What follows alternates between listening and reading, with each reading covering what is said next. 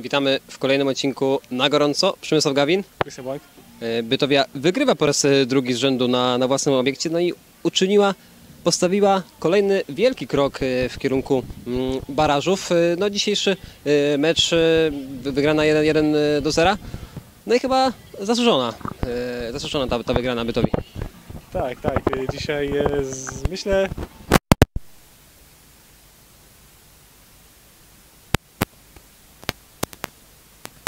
e, w pierwszej połowie chociażby no Stomil e, tak naprawdę poza tym strzałem, który kiedy fantastycznie, fantastyczną interwencją w postaci Gerard Bieszczad, to nie bardzo zagrażała e, bramce, e, nie, nie bardzo Stomil zagrażał bramce Bytowi. No chyba jeszcze miał Subasa Nishi w pierwszej połowie dość niezłą okazję do, do zdobycia bramki. No tak, ale tego było raczej mało. Tutaj raczej, raczej z, tym było, z tym było kiepsko ze strzałami dzisiaj e, Stomilu, Stomilu Olsztyn. Bytowia na przykład, natomiast przez większość czasu dominowała na boisku, dominowała rywala. No i zasłużone dzisiaj, naprawdę za- zasłużony ten e, rezultat.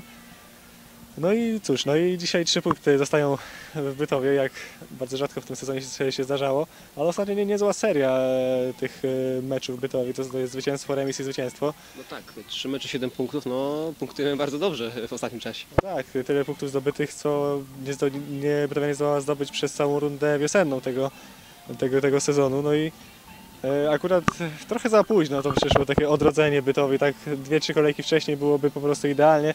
A tak to no dalej trzeba drżeć o to, to utrzymanie na, na zapleczu ekstraklasy, bo e, baraże jedynie zostają jako, jako taka alternatywa, no bo jednak na utrzymanie bezpośrednio to już raczej szans, e, szansy nie ma. I też trzeba po prostu wygrać to spotkanie z GKS-em Katowice, bo to już będzie taka, taki krok, który może zostawić Bytowie w, jeszcze cały czas na tym, w pierwszej lidze.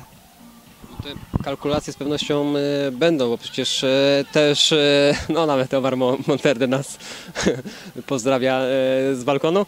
No Omar dzisiaj tylko, tylko dzisiaj w 77 e, minucie wszedł, no ale wracając do, do meczu, bo Omar już trochę odwiódł od, od, od tego spotkania. Bytowia na pewno zasłużyła na wygraną, tak jak, tak jak mówiliśmy, ale ja bym też wyróżnił po raz kolejny Janusza Sordykowskiego.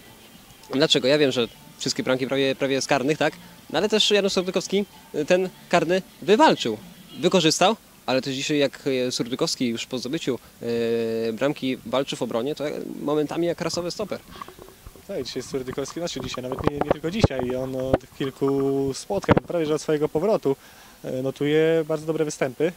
Jest w formie, można powiedzieć, Janusz Surdykowski.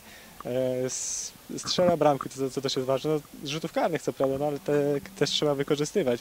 Przecież e, Marcin Robak może zostać królem strzelców w Ekstraklasie, a też e, wiele z tych goli zdobył z rzutów karnych, także no, po prostu karne trzeba umieć strzelać. Dzisiaj nie było żadnych już problemów przy uznaniu tego gola. Jak najbardziej prawidłowo zdobyty gol, także to na pewno cieszy. No i też cieszy to taka pewność w wy- wykonaniu Janusza Surdykowskiego tego rzutu karnego. To jego piąty gol w tym sezonie. Jeżeli się nie, jest najskuteczniejszym strzelcem już e, wraz z Jakubem Bąkiem i Łukaszem Wróblem. mało tych goli trochę mają najlepsi strzelcy w tym sezonie bytowi. E, No ale jakoś to tak e, idzie. No, ważne są zwycięstwa teraz, szczególnie, szczególnie to dzisiejsze dodaje, daje dużo, no i też takim zwieńczeniem tej pracy można powiedzieć był ten e, rzut karny, bo gol bytowi się należał moim zdaniem. No ale w tym meczu troszeczkę, no mieliśmy pecha, bo najpierw e, wypada Łukasz Wróbel pod koniec pierwszej połowy, już nie wychodzi na, na drugą. Potem jeszcze Fran Gonzalez. E, Po spotkaniu też małe problemy Wojciecha Wiecznickiego. No to nie są zbyt dobre informacje dla sztabu szkoleniowego, no bo rzadko się zdarza, zdarza aby no, wymienić cały środek obrony podczas jednego spotkania. Tak, tak. y, Takie trochę niepotrzebnie wykorzystane te, te, te zmiany, takie nie, nie, niepotrzebne. Mm, No ale trzeba było. wymuszone? Tak, no, tak, dokładnie, trze- trzeba było to zrobić. E, także no zmiany musiały być, no i też trochę, trochę tak stracone, no co tu dużo mówić. e, Można było też później je w inny sposób wy, wykorzystać, a tak no to trzeba, trzeba było je zrobić du- dużo, dużo e, wcześniej. No i też oby te urazy e, Gonzaleza i Wróbla nie okazały się jakimiś e, zna, znacznymi, bo to są dosyć e, ważni obrońcy w Bytowi.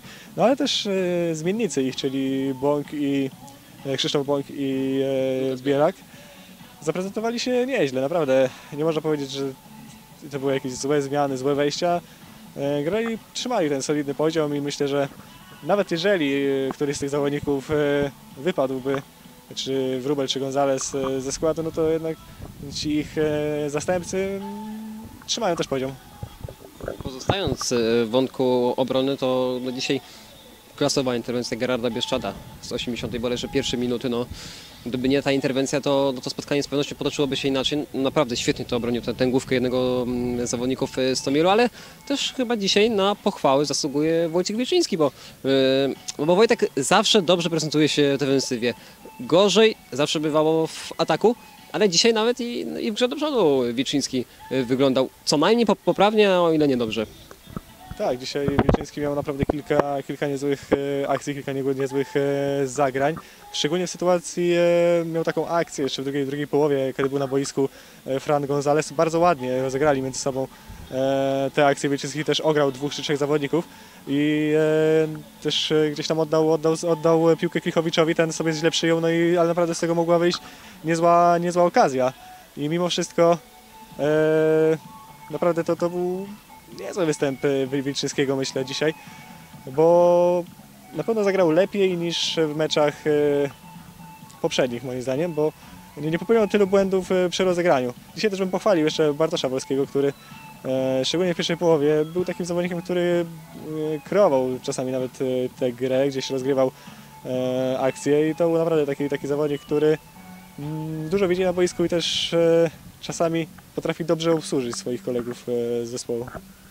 Jedziemy do Katowic e, na pewno z, optymistycz, z opty- op- optymistycznym e, podejściem, bo, bo ta gra e, Bytowi po prostu daje powody do, do, do radości. Myślę, że, że ten mecz w Katowicach, no jesteśmy na dobrej pozycji, bo, bo nie że Wisła ma, ma trochę trudniej, tak? bo gra jednak z kandydatem do awansu jeszcze, Górnikiem Zabrze. My jedziemy do Katowic, Katowic, no wiadomo co się niedawno stało w Katowicach, tak? Więc ja myślę, że no, Bytowia w tej chwili jest zdecydowanie na, na lepszej pozycji niż, niż Wisła Puławy, no ale, no, ale trzeba zagrać swoje w Katowicach. No dokładnie, no trzeba wygrać tam, tam to spotkanie, to by było najlepsze, jeżeli chodzi o, o Bytowie.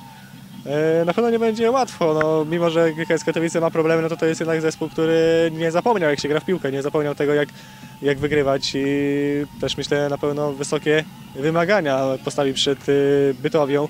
Nawet y, Bytowia by pewnie w ciemno dzisiaj wszyscy byśmy wzięli taki wynik jak był jesienią, kiedy Bytowia wygrała z GKS-em Katowice 1 do 0 po golu Jakuba Bąka.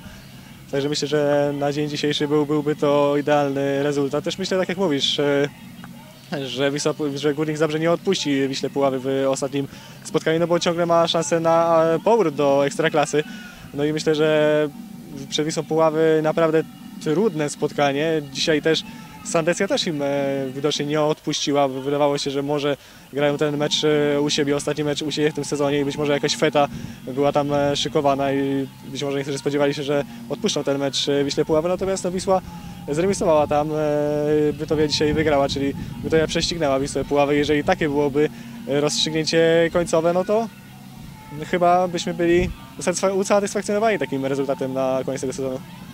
Dzisiaj e, Jakub Bąk, bo wspomniałeś, obchodzi swoją rodzinę, więc wszystkiego najlepszego e, składamy dla, dla Jakuba Bąka, ale też ten e, prezent, no jego drużyna sprawiła, bo, bo jest zwycięstwo, no, no jest się na pewno z, z czego cieszyć, no ale trzeba szybko ochłonąć i już za tydzień, w niedzielę, po prostu zagrać swoje w Katowicach. To tyle dzisiaj. Przemysł Gawin, do zobaczenia.